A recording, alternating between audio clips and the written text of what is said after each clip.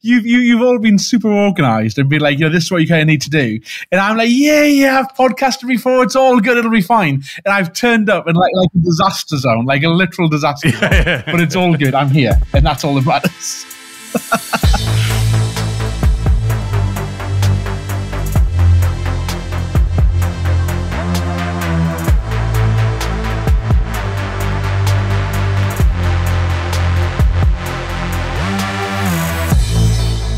Welcome to Cloud Realities, a conversation show exploring the practical and exciting alternate realities that can be unleashed through cloud driven transformation. I'm Dave Chapman. I'm Sjoukje Zaal. And I'm Rob Kernahan.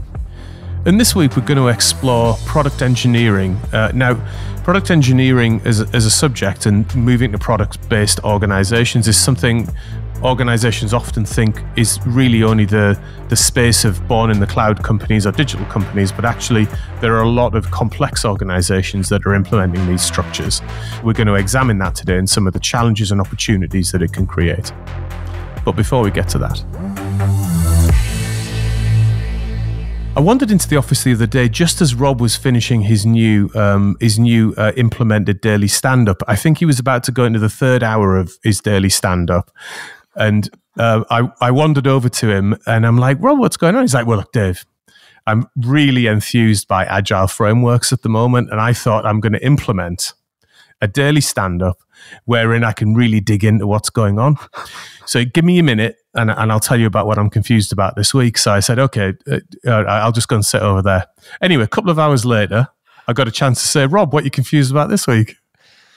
So, David, love it, but you know I'm not the best at paying attention for long periods of time, so I don't think that would work with my uh, with my attention. I'm not. Su- I'm not suggesting you were consistent within that four hours, Rob.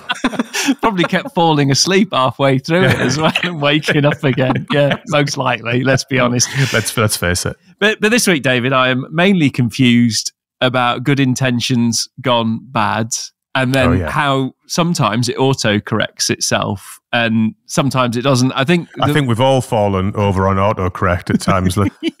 I know I have. The, but the, the the one I'm going to call out is the cookie law. Uh, born in born in the right ethos, but badly implemented. So uh, data privacy, cookies are tracking us all over the internet. What do they do? Well, privacy law rises and says you have to have the right to control your cookies. So what happens? This really clunky implementation comes in. All the websites have an accept cookie button. Mm. You can manage your choices, but there's 2,000 items to go through, which basically means that, as we've talked about it before, people like convenience and everybody just clicks accept, all cookies. Yeah, which means that the law, with great intention, ended up um, not really achieving what do you want? And you know, you're all out there. You all know you've just gone. I can't be bothered. Accept cookies, right? Yeah. And then what happened was the tech industry has looked at that problem space and has caught up. And if you look at what the Chrome engine's doing, you look what Apple and uh, Android phones are doing, they're starting to implement new privacy systems where you set your preferences at the core, which is basically don't let anybody track me. And then the platform itself takes control of that. So the accept cookie button in the next six months will be redundant because the, the phone and the browser has completely deleted it. But I'm still confused about the, it took a long time for the tech companies to catch up with something that maybe the legislator should have thought about and said it's within the platform's right to control this, not each individual website, because it cost a huge amount of money to mm. implement. And it ended up being a farce any, anyway. And actually, it was easier just to amend the platform. So, confused about why that thinking wasn't done up front because I remember when the law came in, a lot of people said, "Why don't you just control this straight from a browser choice and it's just default set and that's the end of it?" So, isn't um, this just the the classic case of you know, well-meaning legislators, exactly, and and governmental bodies, you know, even with the best will in the world, maybe not quite understanding the thing they're trying to legislate against. So they're they're probably understanding it from a point of view of your rights, whether it be your consumer rights, your human rights, whatever it might be. What concerns me about this is actually it's probably less about the example you cite, though. You know, I'm ultra guilty of accepting all cookies that ever pop up in my in my browser. It is then what I'm signing up to in years to come, given yeah. given the rise of the robots. And yeah, and your data's already out there and consumed, and yeah, the profiles right. have been made, and the big companies already know who you are and, and, have done it. So I think we've passed the Rubicon as well. So we're we're trying to retrospectively install laws, but the data's yeah, you know, it's the, the, the horse has bolted. You know, it, it, whatever analogy you like, the time for something like this was at the very beginning of when the big corps were forming. Do you think it's completely unfixable now? We're so far past the Rubicon that actually the game's I, over. I think uh, you need to change your name, uh, move house, and uh, think about a new persona online if you want to just go. Yeah, it's it's it's all been collected and processed I, and gone. I think I think you've resolved that problem, Rob, with a nice, easy fix for everyone. So thanks for your time. In, consumer advice again. Thanks. Exactly. Exactly. Consumer advice. It's, that's what they come here for. So, Rob, thanks for that. Now, I'm delighted to introduce our guest for today, who's going to help us work our way through uh, the thorny subject of product engineering. So, I'm delighted to say that joining us is Steve Westgarth, Head of Product Engineering at Haleon. Steve, very nice to see you. Thanks for making the time to join us. Do you want to just say hello and introduce yourself? So, first of all, really good to be here. Uh, my name is Steve Westgarth. I'm the um, Global Head of Engineering and Architecture at Haleon. And um, I sit within a product organization uh, within the organization where we look at how we can build products that drive better everyday consumer healthcare with humanity across the organization. Right. Let's start, Steve, by talking about Haleon themselves. Very interesting company. Lots of things have happened over the last couple of years. Why don't you just give it, why don't you set the scene for us and just give us some background? Sure. So Haleon is a consumer healthcare company. A couple of years ago, consumer healthcare was spun out of, of GSK. We were GSK Consumer Healthcare, and GSK had committed to to float a their consumer healthcare arm as a brand new limited company. So in July 2022, we separated from GSK. Somewhere in the region of 20,000 staff operating out of 130 odd countries, um, selling products that you'll know every day. So things like Sensodyne, Voltarol, um, Centrum, all of those consumer healthcare brands that you're used to buying from your pharmacist are owned by Haleon. But the brand as a whole is, is brand new. Two years ago, we didn't exist. So an $11 billion, billion dollar company born out of you know, a huge pharma company that you will have heard of. But, but as a company ourselves, we're still establishing right. ourselves within the market. Yeah, amazingly exciting opportunity. And what does that mean for IT? So, given you described it interestingly there, has that allowed you to go in with sort of modern IT right from the outset, or are you still dealing with some legacy that's coming across from your parent company? It's a really great question. So I think there are so many opportunities that we've had. I mean, so first of all, the separation was a huge challenge. So imagine a world where you have a, a multi billion dollar company, you've got all of your systems set up, all of your HR, your payroll, your ERP, all of those core systems had to be separated and set up again from scratch in the new company. So um, that required us to um, have new vendor negotiations, required us to um, go and um, and literally create and you know everything from from from day one as as a new installation, new teams to support all those applications, new vendor relationships to support all those applications. And I mean the undertaking really can't be understated in terms of how how big a job that was for our for our tech teams, our tech organization. As a company, though, we we approached that in a way which actually got us to a point where on day one um, of, of launch of Haleon, you know, compared to many other comparators you would look at that have, have separated in, in, in recent years, we we had total separation of, of everything. Every system was was our own, and we were running our own our own payroll. But a lot of that was replicated from what we had in um, in GSK. You know, it was based upon a model that we knew worked and had understood we had made some decisions along the way. Mm-hmm. Things like you're needing to be cloud first, and the relationship we have um, with with Microsoft, and, and you're wanting to to move our workloads from physical data centers into the cloud was really important to us. So we did make some big decisions uh, to to allow us to do that. But even in that world, you were you were moving along where you didn't necessarily have the opportunity to create all of our applications in a cloud native way. We might be using the cloud as, as effectively as a data center, but a lot of applications have been put into the cloud you know, yeah. on, on, VM technology or, or using, um, you know, not, not necessarily cloud native technology. And that I think is a, a slightly longer term opportunity for us as, as we kind of rationalize and see how we can better leverage the cloud to support, to support what we're doing as a company. I guess you find yourself there in an organizational state or an application landscape state that's actually a pretty common place to be, right? Where you've got stuff running on the cloud, but it might not be completely cloudified at that point. But you've actually got like an opportunity point forward to create a modernization agenda. You do ex- ex- exactly that, and I think that that's also why engineering is so important at Haleon. So historically, GSK had outsourced lots of its engineering work to third party vendors, and that had worked very effectively for the organization. But you're aware where some of our um, some of our core technology, how it was being built and how it was being supported, and you know, uh, some of the decisions that have been made along the way um, to, to launch some of those systems and to look at how we can build out in a state where you, you haven't got to think end to end every time somebody comes along with a new proposition. So, right, I joined the organization as, as global head of engineering in you know, January 2022.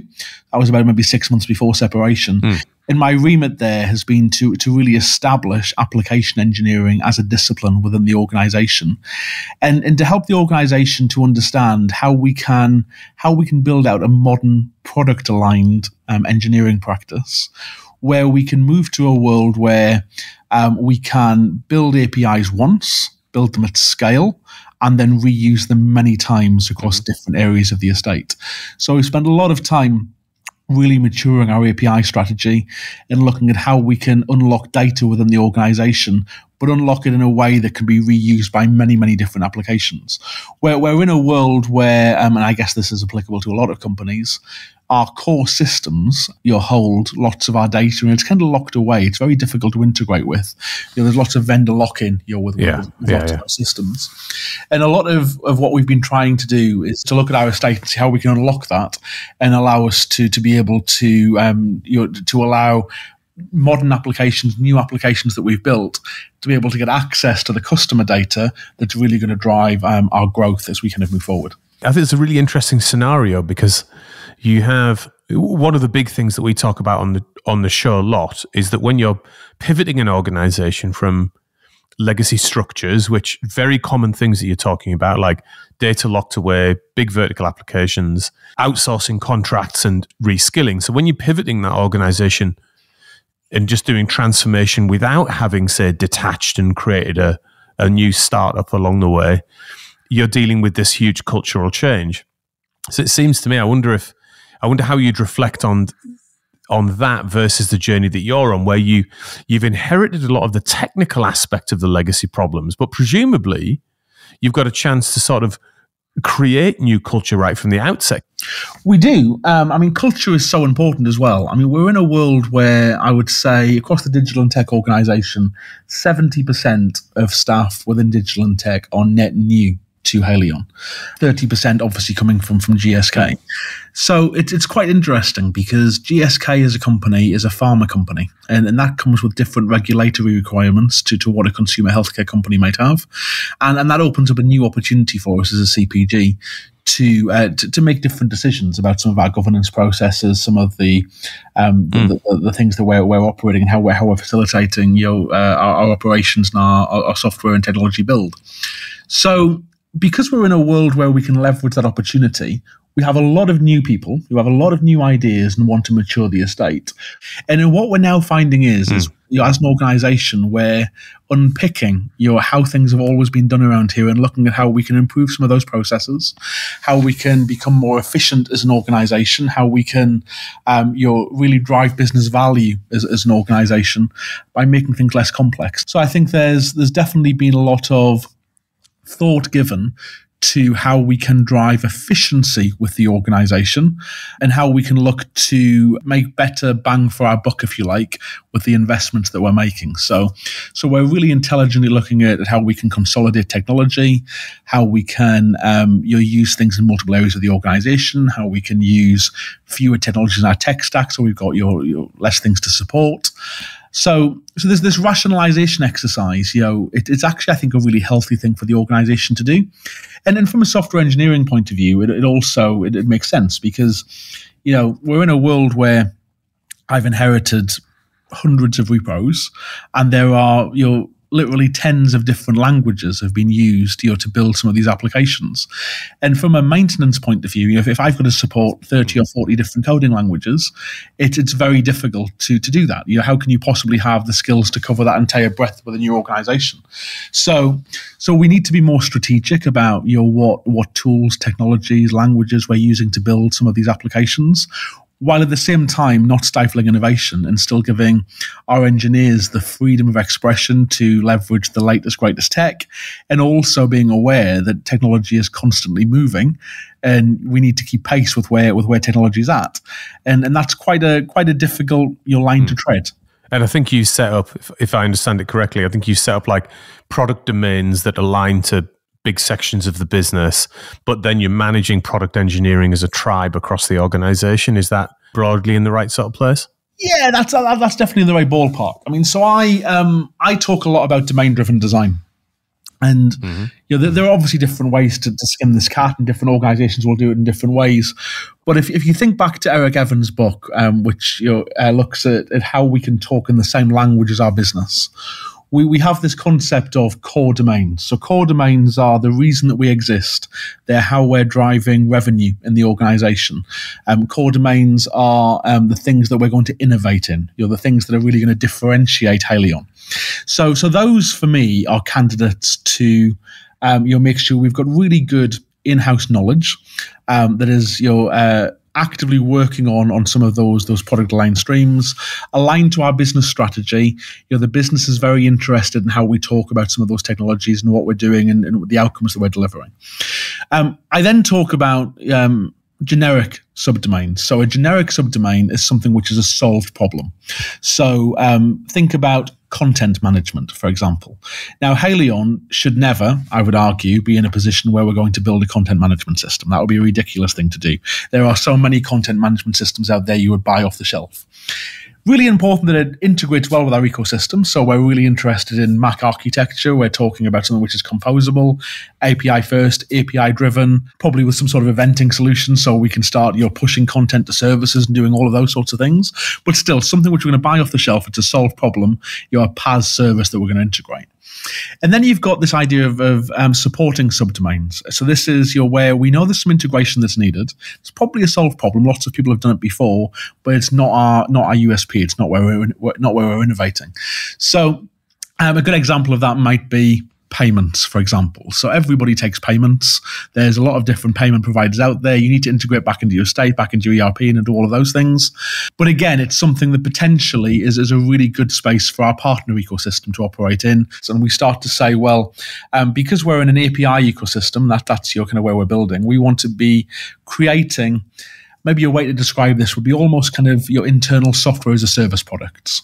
So um, and those products are effectively capabilities. So, so think about capabilities as things like payments or analytics mm. or order management or transaction management. Those bounded contexts, they might be leveraging PaaS services, generic subdomains that, that we've bought off the shelf. They might be integrated into the estate. But the, the concept here is, is that when an engineer or a product line team comes along, they should be able to pick and choose these composable services they want to use and then reuse those within their application. Mm-hmm. So think about if you, if you take a different context other than Haleon, think about something like payments if you were going to integrate PayPal. So I would go to developer.paypal.com and very quickly I could integrate PayPal into my site because they've given me some sample code. There's some really great documentation. And you, you simply you include that into your React app and suddenly half an hour later there I've got payments going to be taken.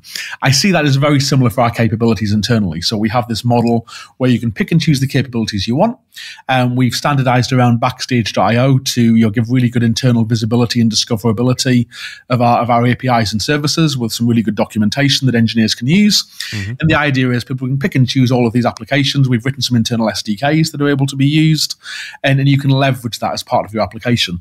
And um, although you know we're, we're only two years into this journey, but I think you're so far that approach is, is really starting to pay dividends because that, that's where we're really starting to drive the reuse. So if you take the order management capability, for example, we've done one with SAP, and, and you know we don't need to integrate. You know we don't need to integrate again for all the other use cases that we've got. Cool. I'm interested in, I think, two levels of how that whole ecosystem is performing. I think the first, from a point of view of the consuming business, So how is it feeling to the cons- to the consuming business? Do they feel like they are now feeling intimate with that process and feeling like they've got like a new innovation speed that they've been looking for? And then just to get it all on the table, the second element is for one of the developers within that ecosystem. How do you feel like like it's functioning, and, and are you functioning yet at the sort of tick speed that you want to be running at? Definitely. So I think um, from the from our business's point of view, it definitely has had an impact on how quickly we can achieve some of the things that, that we've been trying to achieve. Mm. And although this this you know right now um, isn't in in every area of our business, you know it's still a it's still a journey we're kind of going on to. I think where where, where we've seen your success, I think you know it, it's definitely seen some some radical improvement in, in in speed to market. And you know you've come along and you've been able to do something within you know a couple of months that's actually achieved what we want to achieve. So you know it's it really has had a, a massive impact um, where we've been been able to, to, to, leverage these sorts of techniques with with our business, which I think is, is really having a tangible difference. And and when you you've done this massive transformation, you've you've greatly improved agility, very progressive engineering thought process linking with the business, um, creating very high performing teams. Do you ever go back to your GSK colleagues where you came from and you split from, and I know they're a, a, uh, a, more regulated area, but do you compare notes on the successes you had and share strategy and see if there's something that can benefit both? Is that a conversation you've sustained? Because you've done an awful lot to transform the way IT delivers to the business very successfully. So I was just wondering if there's a, still a compare notes process that goes on. So we are we are now a separate company. So um, I joined um, Haleon six months before separation. So I haven't really got deep rooted contacts back within GSK. So although there has definitely been conversations, and obviously your GSK is still you're a good friend of Haleon and, and will will remain so. Um, I, I, wouldn't say yeah. that we're we're actively comparing notes on approach. Um, what what I would say is though that um, as a as as a tech leader. I um, get involved with with a lot of, of peers and colleagues and other organisations, and do evangelize a lot about this approach that we're going to take. And even the fact that I'm doing this podcast with you today, yeah, you know, I, I talk a lot about some of the benefits that this has driven and, and the community it kind of brings, and and I do talk a lot about you know where, where many of us are in non-competing industries, and you know a lot of the problems we're trying to solve here are common across lots of different types of organizations and I think there's there's two things that, that I think I've I've learned is as I've kind of you went through my career and, and kind of you experiment with some of these things.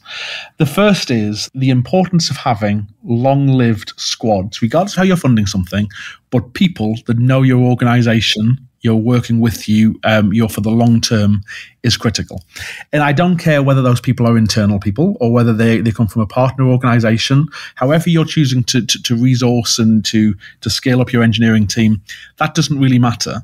But the importance is is continuity, because you actually by building that you build so much knowledge inside your teams, and actually where where you lose velocity and where you lose time is is when you're between programs and between projects when something spins down and something else spins up. You know that that knowledge which is lost. It's really intangible, and I don't think people really appreciate how significant that is to an engineering organization. So long-lived yeah. teams mm-hmm. is, is, is the first thing that, that I would say um, is, is super important. And actually, within that, you know, what, what, I've also found very effective is you know you're taking work to the team. So even if I've got multiple initiatives that might be funded in all sorts of different ways, it doesn't matter whether those those initiatives are kind of planning you know milestones over a period of time or kind of whatever that might be. You know, it doesn't matter about the methodology you're adopting for, for the project, but driving the work into the team that has the knowledge you know, rather than trying to to orientate a new team around a problem is is incredibly important. I think that's um, you know that that's something that organisations must get. And this is one of the beauties of products, which is they're aligned to the business. They can have that intimacy. They need to not only survive but thrive. But it allows that longevity of relationship to be established, as opposed to say a more mutualised service where the same request can ping about the organization through multiple layers, get lost and get confused. So it is, uh, I mean, I'm a massive advocate of the product based organization, but exactly to your point, it allows the type of ethos that you're talking about to be realized more easily. But it, it, it requires the funding lines to be affected. It, it requires a lot of change within an org to make sure that the product can can thrive. So, so I think there are a couple of different archetypes that we have. So, so um, archetype one is the true product organization. So you're against my bounded context of domains, you're where you have a team that is iterating against a product backlog, and that's a long lived thing that we're trying to deliver for the team. This website, this e commerce destination, whatever it might be, that we're iterating and, and developing on that, that's aligned to a value stream in the business. So, so that, that's one archetype. The other archetype of engineering we've got is what I would term continuous delivery. And this is where you've got ad hoc demand of things in our business where somebody has come along and said, Hey, I need to make a change to this. Hey, I've got this request to automate that. You know, hey, I need I just need to do this because it's going to enable something for what I'm kind of doing. When we have that sort of demand, we we have this this concept of continuous delivery teams that still work in a product aligned way. They still have a backlog, they still have a roadmap that, that's, that's built out for them. But but that demand is very much skill set based. So I have some you know some JavaScript engineers, I've got some platform engineers, I've got some you know some some skill sets that are you know maybe API engineers, whatever it might be, and and you're you're driving that demand to to a team that has the right skills to do it. And i think that that's another archetype that works quite well. And in both of those scenarios actually i mean the funding yes it's important um, but but you know many people your companies will work with with programs and initiatives. Well i work with programs and initiatives in terms of where they work right? It's very much a, you know an agency yeah. model if you like. You know it, it's no different to me setting up a business that was a software development house and selling my services that way to, to, to multiple different businesses. And by thinking differently like that and thinking around how you can, without having to change all of your internal processes and change how you're funding um, all of your projects and programs and initiatives, you can you can actually kind of meet your finance teams halfway and realize that to be agile, you don't you don't necessarily need to have you know rewritten the way we do everything around here. You can adapt and, and, and make that work, which in its nature is, is being agile, right? So, th- so there's a lot said. You, you used the big A word in that answer there. And I felt like maybe is to bring today's conversation to a little bit of a conclusion. It barely feels like we've scratched the surface. I just want to talk to you about agile and it's a well-worn path. So I'm all about driving autonomy to the teams. I mean, this is a big agile, your agile principle. How do you make uh, your autonomous teams that are able to make independent decisions? Now, in, in command and control management structures, where you've got people who need updates and all of those things, it's it's actually quite difficult, you know, to, to, to let go of control and give the team autonomy.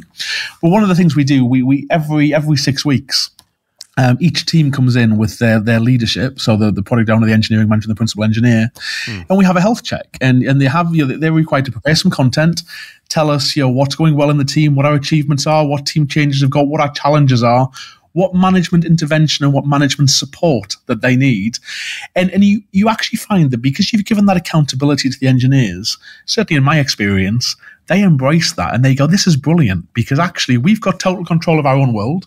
We can change what we want in our world, and that's all good. The things we can't change, the things you're outside of our control, I've now got a mechanism by which people are genuinely interested in helping my team to get better. So, so to, to, to bring that kind of around, I mean, there are so many topics in the space that I can talk about, but I think um, organizations need to stop talking about frameworks. I think that, that's that's not where we're going. I think we need to be talking truly about what drives true business agility, and the thing which does that is your product line teams, um, your teams that are the same individuals, so you aren't spinning up and spinning down teams you're according to work. Um, and moving to a world where teams are able to to work with as much autonomy as you possibly can and as few dependencies as you possibly can. And linking that back to the domain driven design stuff those bounded contexts that's a really great way of trying to, to move to a world where you haven't got as many dependencies between teams that enables them to, to really kind of push forward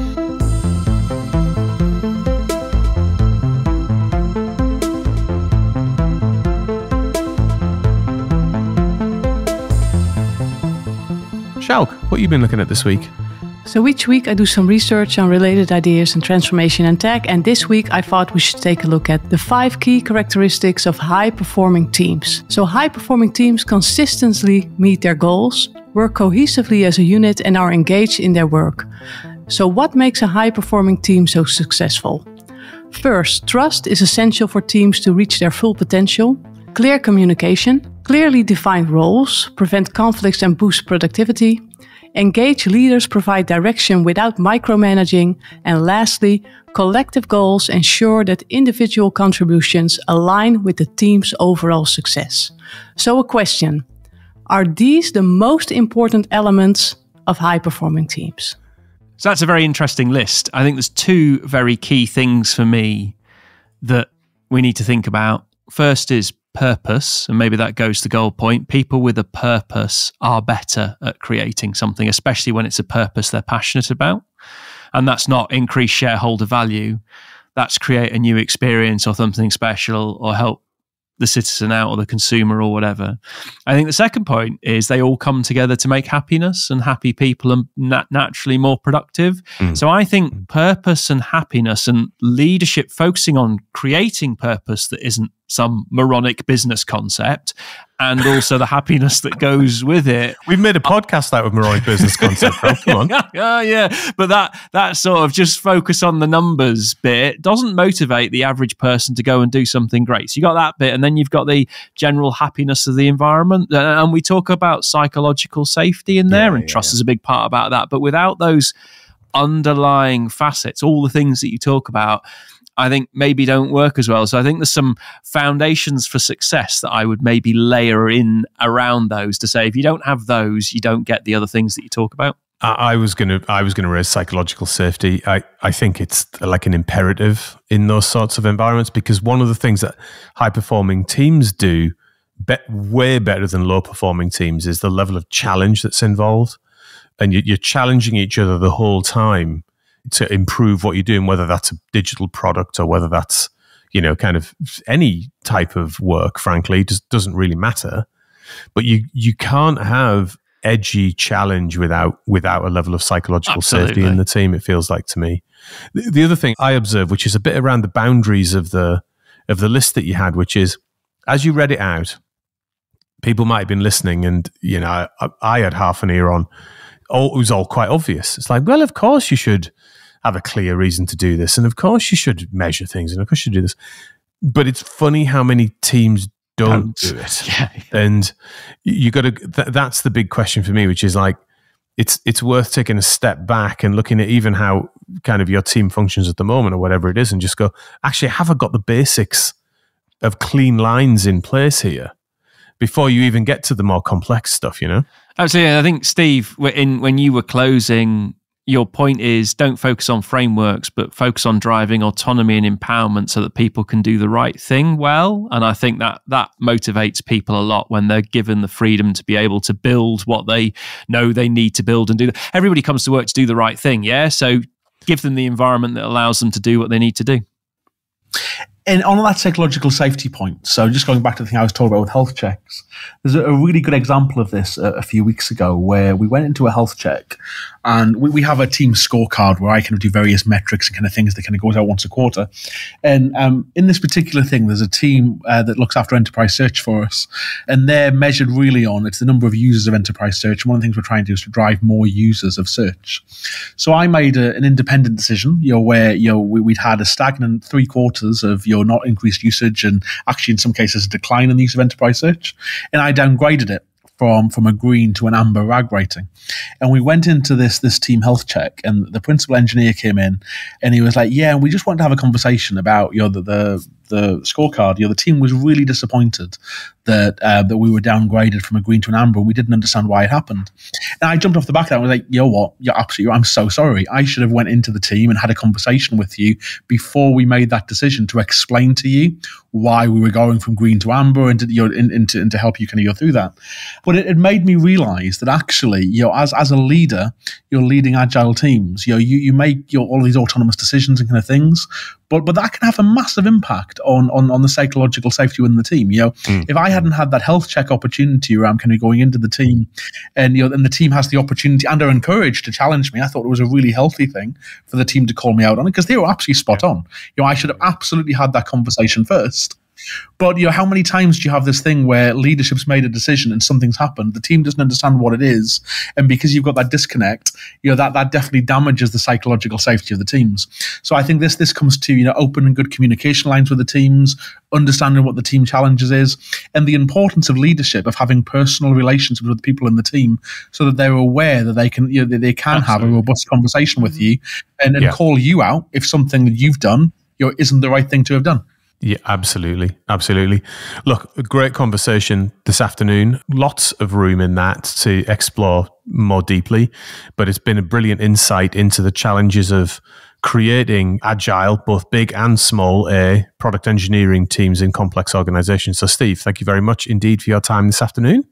Thank you very much for inviting me. Our pleasure. So, we end every episode of this podcast by asking our guests what they're excited about doing next. And that might be I've got a great restaurant, or I'm doing something exciting at the weekend, or it could be something in your professional life. So, Steve, what are you excited about doing next?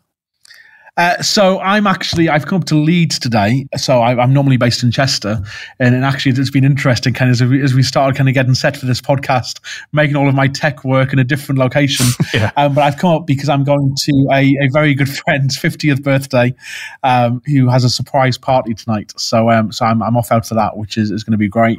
Um, and then heading back to Chester, um, you know, on on Saturday at some point. So really excited for that. That sounds Great. A couple of things. First of all, this will go out well after your friend's surprise birthday party. So, so you haven't no, just spoiled it. No, We're not releasing no now. there on uh, on spoiling that, uh, which is good for everybody, I think.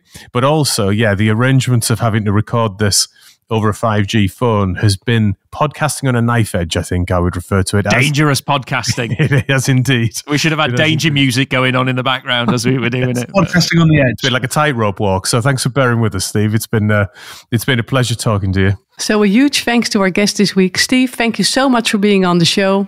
Thanks also to our sound and editing wizards, Ben and Louis, our echoing producer, Marcel, and of course to all of our listeners. We're on LinkedIn and X, Dave Chapman, Rob Kernahan, and Sjoukje Zaal. Feel free to follow or connect with us, and please get in touch if you have any comments or ideas for the show. And of course, if you haven't already done that, rate and subscribe to our podcast. See you in another reality next week.